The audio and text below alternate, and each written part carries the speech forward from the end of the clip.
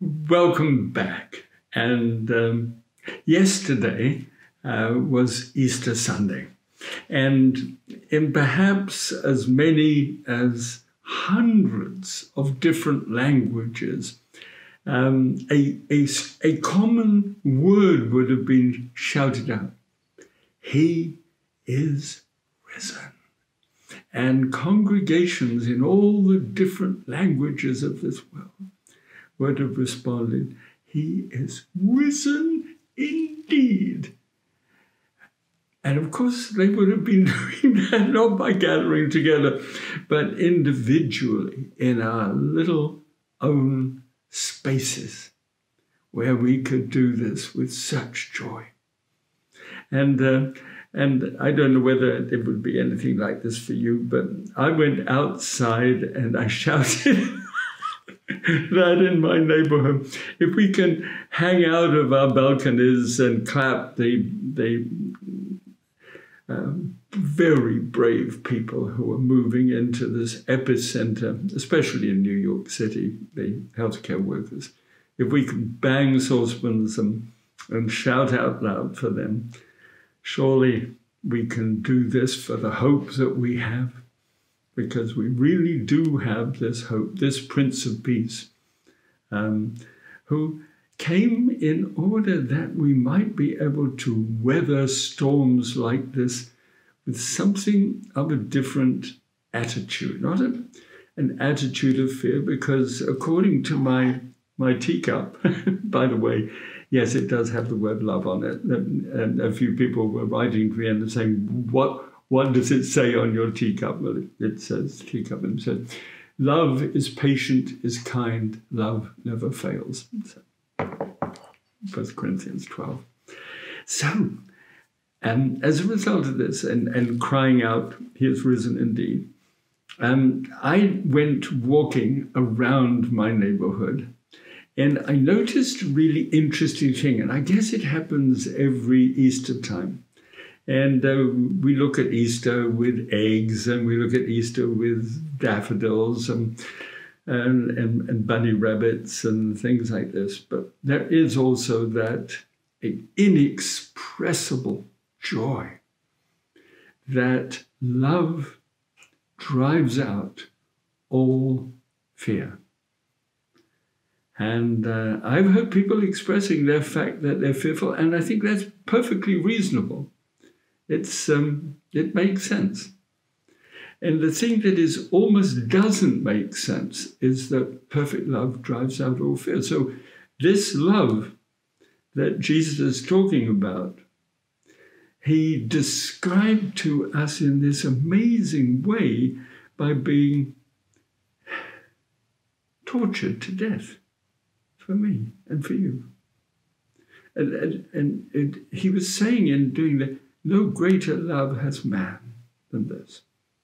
He, he knew exactly what it was that he was doing. And we, because we've been handed down this story for so many years now, know, know the story.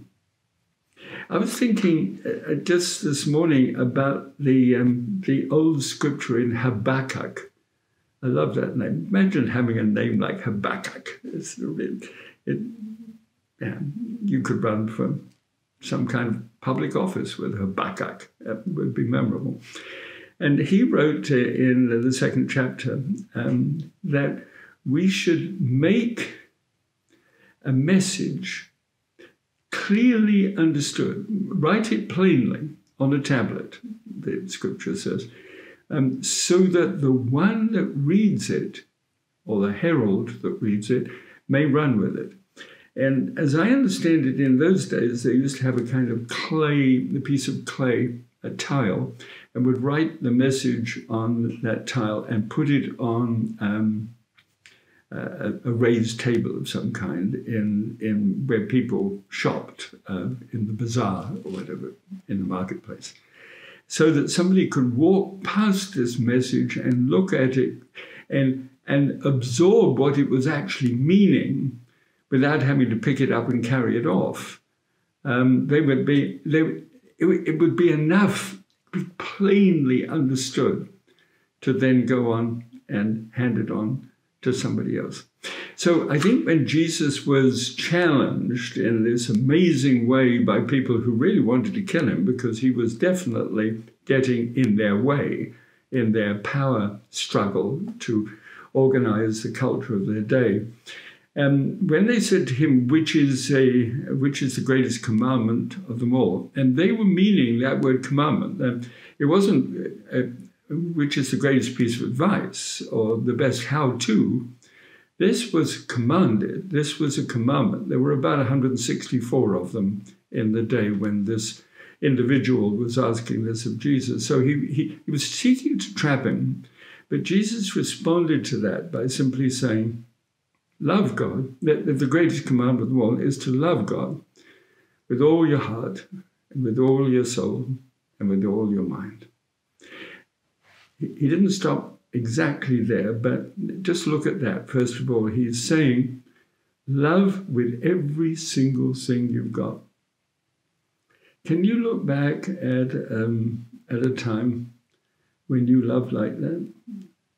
Your husband, your wife, um, your children, someone, somewhere, somehow. Um, I've looked back recently to remember just just to try and rephrase in my own mind what the word love means.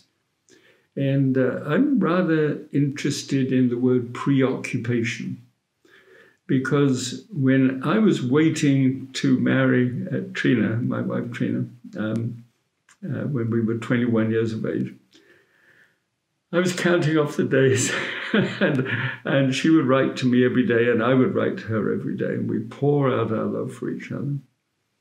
I was preoccupied with loving her. There's no question. And yet, I, I then fast forward a few years and I had to go to New Zealand uh, for um, six months and left her behind, and she had to come and catch me up. And I only wrote to her three times. I was preoccupied at that time was trying to get my feet on the ground and save the money I needed to do to get our little apartment ready and then welcome her and our little daughter Tessa home to their new home, so many thousands of miles away from England, 12,000 miles. And um, I, I can justify that. I can look back upon that and say, yeah, well, of course I was preoccupied. I was making a nest, and that takes preoccupation. But that I didn't write more than three letters. And when Treena came um, to come into my presence after six months, and I was so longing to see her, and she looked so beautiful. And she said, You know, you only wrote three times, and I don't know whether you love me anymore like you did. In other words, write daily, she didn't say that, but that's what she was comparing that love to the other love. And you know, when I was looking back about this, because I really wanted to know how I can love God in the same way. Well, not really the same way, but with something of the same intensity, something with the same preoccupation that I gave towards Treena in those early days. How could I love him isn't this what Jesus was saying? Just love God with a total preoccupation with everything you've got. And uh, I could see that I didn't and I wasn't, and I could see how hard it would be. And it became a kind of preoccupation with me about how I might love that way. And then Jesus went on remarkably to the next verse that he had because he was only asked for one commandment, the greatest one, but then he linked it to the second. And the second is similar, he said love your neighbor as yourself. Isn't this what we are now doing? I think so. I'm trying the best I can to love myself by spraying a package that comes in before it comes into my little apartment. I spray it down and I open the package up and I put it away and then I descend, um, either wash my hands or um, or put a, you know the, the degrees are on it. Um, so I'm doing everything I can for me. Um, but the reason I'm doing it for me is as love your neighbor as yourself. So this self care then spills over to my neighbor. And uh, I am less likely to be a carrier and start shedding the virus for people that I really love a lot. So for me, the big test nowadays, for me, day by day, is to take the first part of that scripture love God with all your heart, all your soul, all your mind, and attach it to the second one, as if it was two parts of just one message. And because you see, Jesus went on after that and he said, Upon these commandments depend or hang all the law, all 164, and all the prophets. I mean, everything, the big Bible book that we have, it's all dependent upon that thing. It's not the golden rule. It's not do unto others anything. Have that. That you see is is is a purely human issue, as there's love your neighbor as yourself. But when you put the two together, when you put the love of God, which first was displayed to us, and then we display it back to Him, and that's similar to that when we start loving ourselves and loving our neighbors. And I can tell you this quite definitely. This has transformed my life, especially at a time like this. And that would be my prayer for you.